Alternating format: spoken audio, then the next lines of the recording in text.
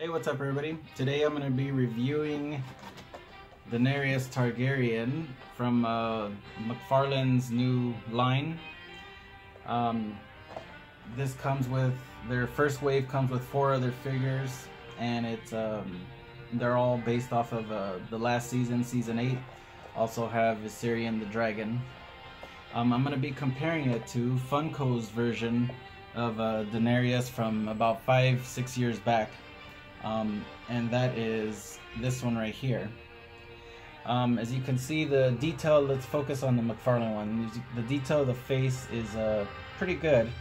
Um, doesn't quite look like the actress. Like uh, in one of my other reviews, I reviewed uh, Arya, and that kind of looks pretty good.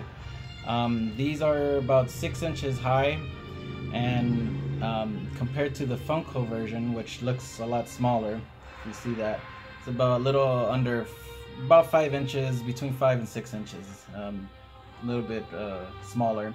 Um, what was cool about this one was that it um, this was in the early seasons or the first season where uh, she's with the uh, her her baby dragon when uh, she was with uh, Khal Drogo and the Darth Dothraki.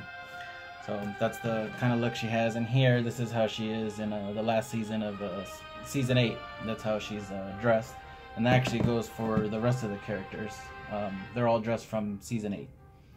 Um, it's posable. Uh, I haven't taken it out of the package yet, but it. Um, what's cool about these? It comes with a base and it comes with these little accessories. I mean, she she's not a fighter, so she doesn't have a sword or anything like that.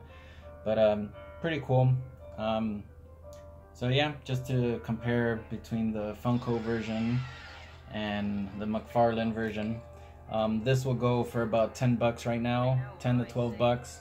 And uh, the McFarlane one is about 19.99 on Amazon right now. Maybe you can get it cheaper somewhere else, but uh, generally that's the, the price for that. Um, pretty cool to add to your collection. Um, I'm going to be reviewing each one of these in another video, so go ahead and uh, check them out and um, feel free to follow me for a lot more uh, reviews and talking about other new collectibles, exciting collectibles coming out.